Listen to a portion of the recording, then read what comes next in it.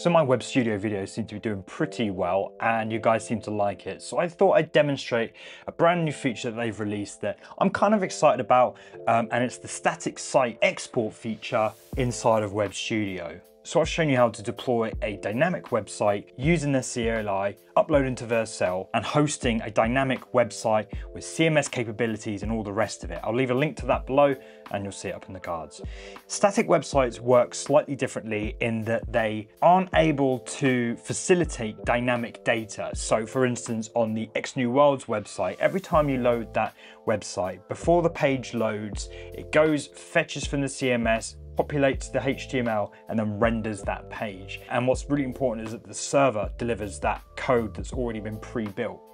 Static websites, you have to build the website and then that's it then. You can use JavaScript to populate things, go and fetch from third-party APIs and stuff like that, but you're not getting the important server-side delivered content which SEO relies on, accessibility relies on, so generally it's best for all that important information to be available on page load. So you might ask why you would want a static website. First and foremost, it's just miles quicker.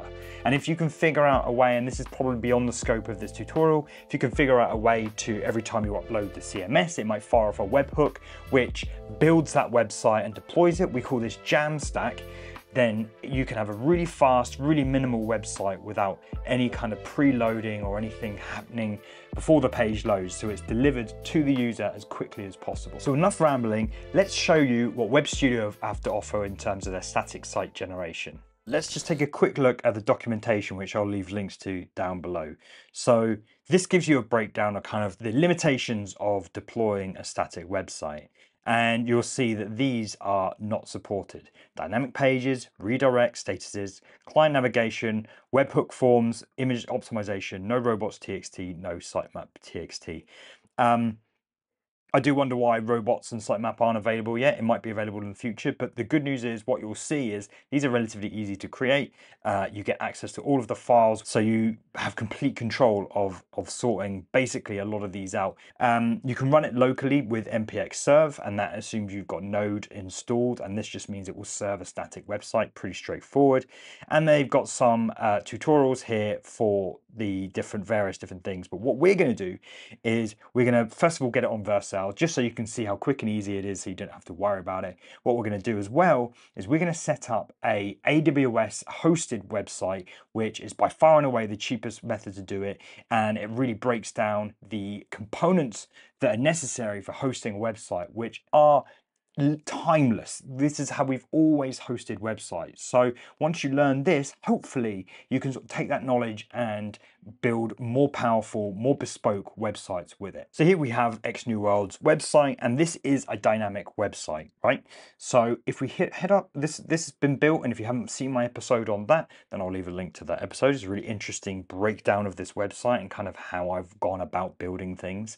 Um, and under the publish, if we hit export, this is where we get through to the documentation that I said about, but we can download and build and deploy our exported files. So let's let that do its thing. It's generating all those HTML files. So that's downloaded now. Uh, destination, I don't know what that is, but whatever. We open this, you've got various files that make up the website and it's broken down in, as you would expect, any website to work. And let's just take a quick look at the HTML. So it's pre looks like it's preloading some of the images here. Um, you've got titles, and this is all editable. If you've got VS Code, you can go in and edit any of this stuff. Has even taken some of the meta uh, descriptions. However, I did notice that it didn't take my favicon. Maybe that's some feedback for Webstudio there's and we've got my canonical there my Google tag. This is all stuff that I've written. What I'm really interested in if we uh, hide the header here. Now what you'll see is it's actually built out and rendered the dynamic content of the website. So whilst from now on the content it receives isn't dynamic at the point of building, it's still going to make that call to those third-party CMSs and things like that, uh, and build the website accordingly. So even some of the uh, optimized assets are here and stuff like this. So it should, this should work in exactly the same way uh, as the dynamic website is just that if X New Worlds updates what should be shown on this page, it won't update there. So you've really got to pick what type of website you want to use from this. Now, I would recommend setting up a Git repo so that when you push this up to Git, it then deploys to Vercel because Vercel, Netlify, they work great with that kind of workflow. It means that you can roll back changes should you want to, but for speed, we're going to upload this directly to Netlify. So I've got Netlify open up here. I've set a new project. If you take the zip file that it downloads and upload that, it'll do its thing.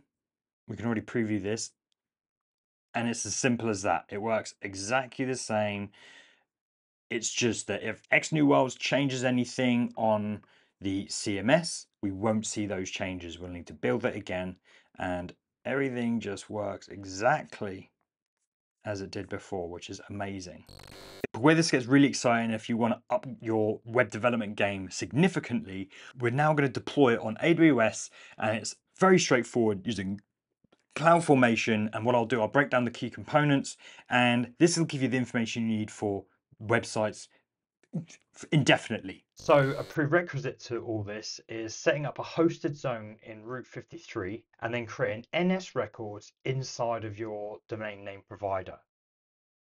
So I'm going to leave a link to this uh, official GitHub repo in the description.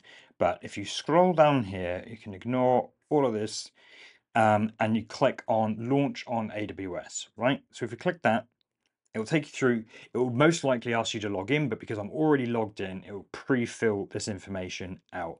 And you're gonna make sure that the AWS URL is, uh, S3 URL is pointed to here. If we click deploy, and let's give this a stack name called X New Worlds. The subdomain is probably, uh, we're gonna do that.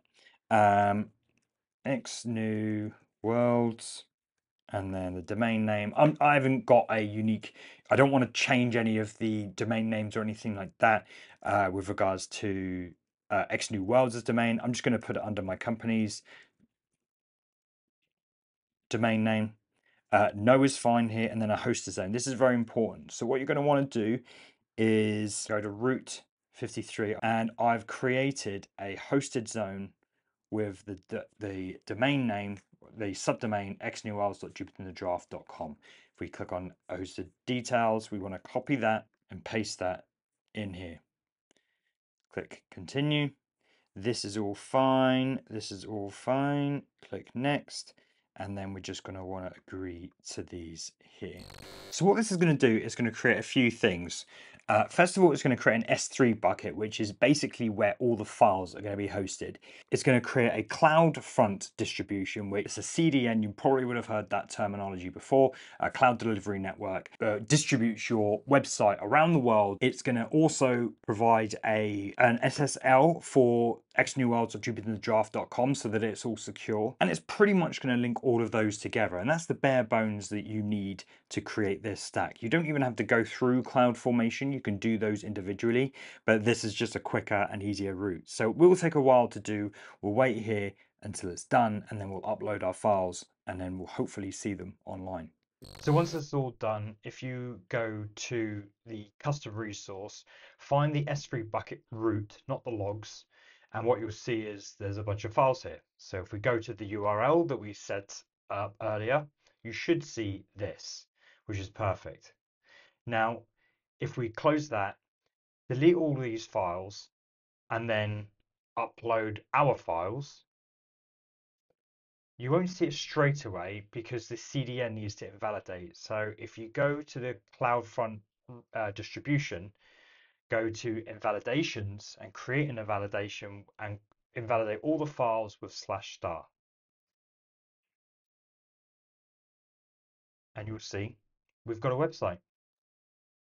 Now it looks like there's something going on here, so I'm not quite sure what that is.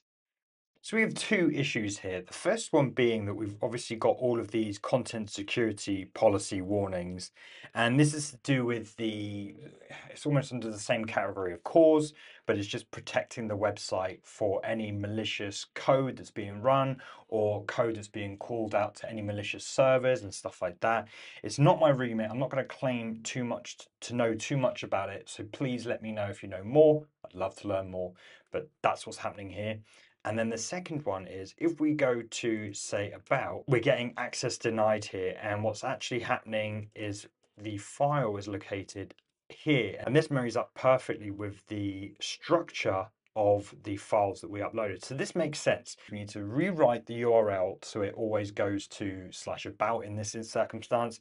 And then we need to sort out these security policy warnings. So the way that we do that, go to CloudFront we're going to want to go to something called functions and we're going to want to set up two functions. One's going to do the redirecting and the other one is going to add the security policy headers. So this is pretty straightforward. I'll leave links to everything down below, but ultimately this is detecting if it's got a slash or a dot in it. Um, and presumably that's working out if it's got a file name involved and it's rewriting that URL to, I guess, hide the index.html but um, from the URL, not 100% sure, and then you build that and then you publish that. And then the second function obviously is going to add the security headers. Now, like I say, I'm going to leave links to all of these so you should be able to pick it up and understand it. But this is going to be unique to your website. You can see you've got Google Tag Manager here, you've got jsDelivr, Cloudflare, this sort of stuff. Once again, I don't fully understand it. This is what I had to kind of bash together to get to work. And it does have me wondering things like Vercel and Netlify, how they're not going to know what uh, assets and, and things that your website is going to be used. So it has me wondering whether they've just got wildcards set on some of this stuff, because this is very, very important. This sort of protects you from cross um, site scripting, uh, sending off malicious code and things like that. So it is important. I just wonder how Vercel and Netlify are doing it. So once again, we are just rewriting those headers and save it and then publish it. And then we want to go to the distributions. We want to go to behaviors, edit our behavior, and then scroll, scroll right down the bottom and the viewer request, we're going to call a CloudFront function and then re redirect to folder. And then the response is going to add those security headers. And we won't see a change straight away. Then it will kick in and everything should be working. If I go to about, about is working. So this is exactly what we want.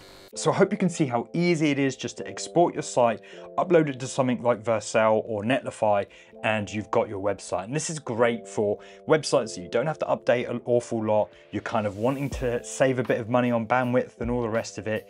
And it just might suit a few use cases, but also demonstrating to spin up your own server and have something that costs far less than you're ever going to encounter when it comes to something like Vercel. And I'm personally in favor of this.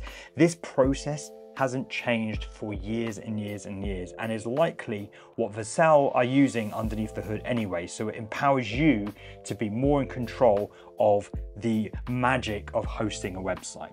So, like, subscribe if you haven't already. Don't forget to check out these episodes which YouTube thinks you're gonna like. Until next time, happy no coding.